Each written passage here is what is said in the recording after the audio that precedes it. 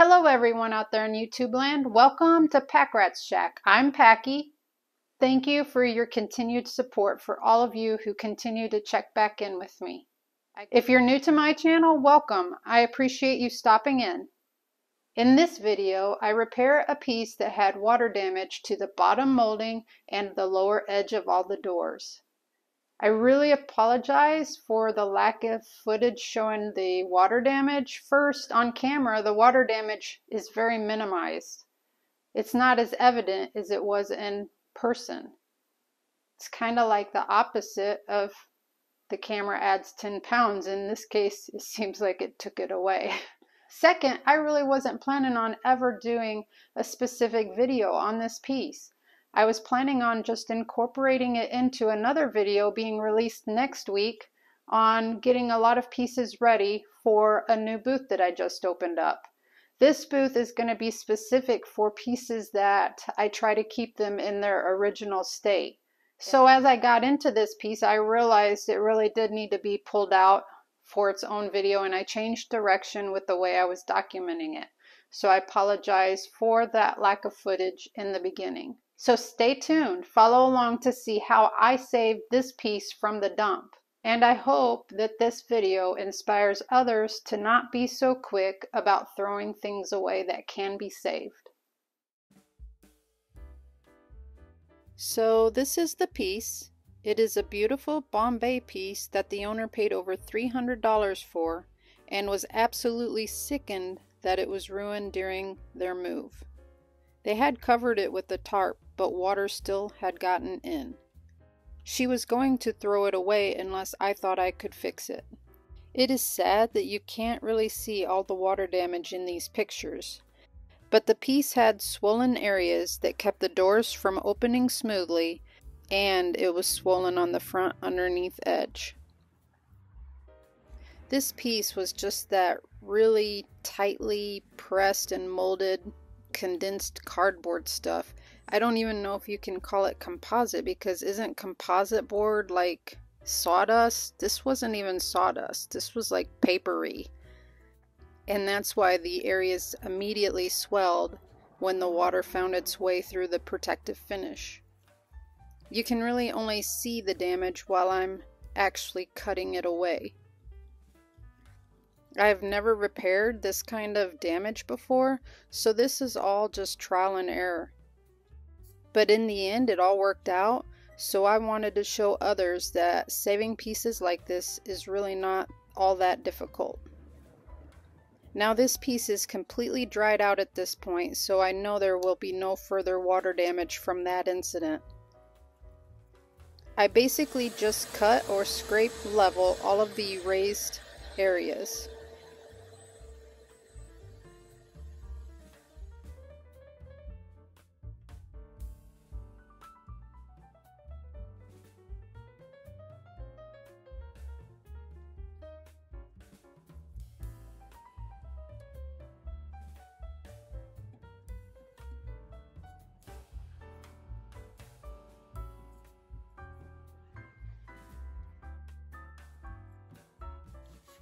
After all the areas were scraped level, I sanded off all of the last little papery fibers that were still there.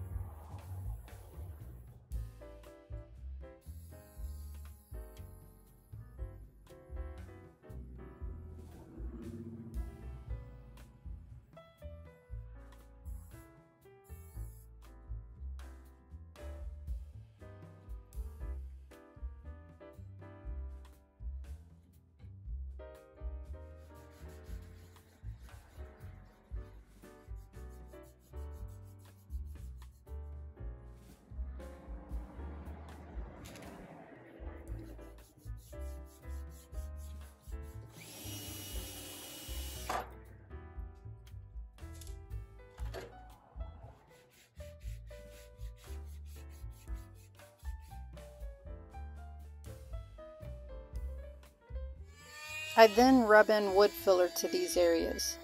This helps fill in all of the opened pores, but it also helps me build up a smooth finish.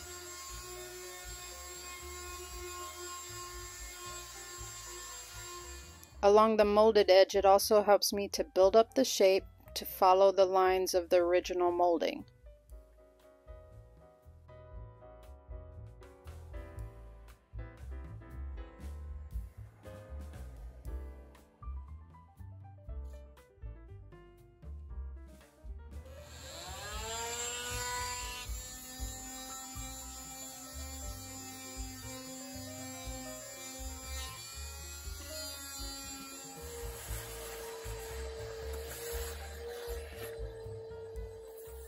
After all that is dried and sanded smooth, I spray the repairs with shellac.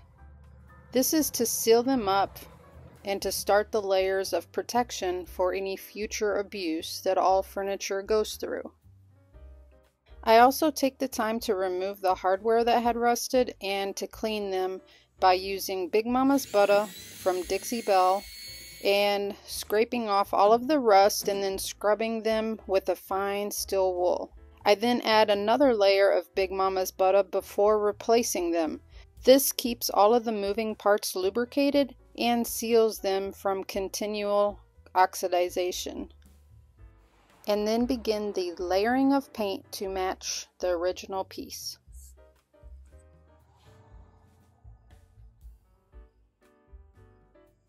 I know my painting is not going to be a perfect match to the original piece, but I don't even get stressed about that. I just try to get it as close as possible knowing that my finishing step will blend it all in together.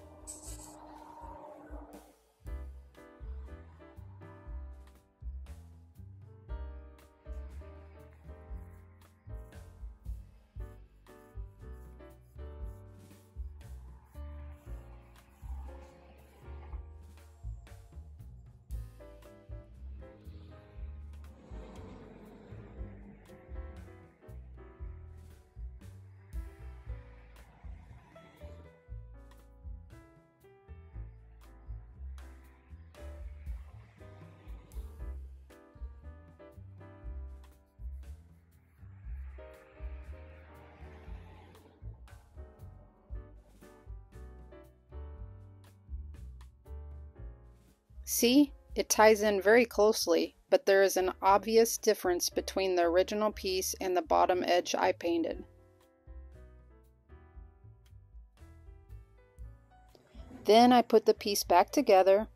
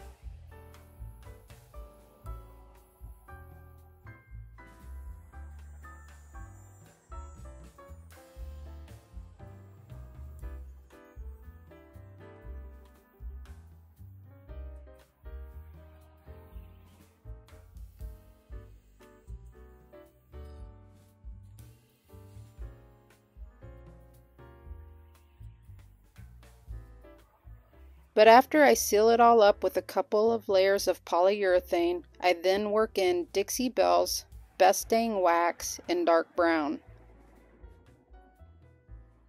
I work it into the entire piece, focusing on edges and corners, but I do spend a lot more time on the bottom edge and try to fade it upwards. So by the time that it is all done, the piece will look like this was done on purpose. Besides, ombre is in right now, right? And also, the bottom should look heavier than the top, I think.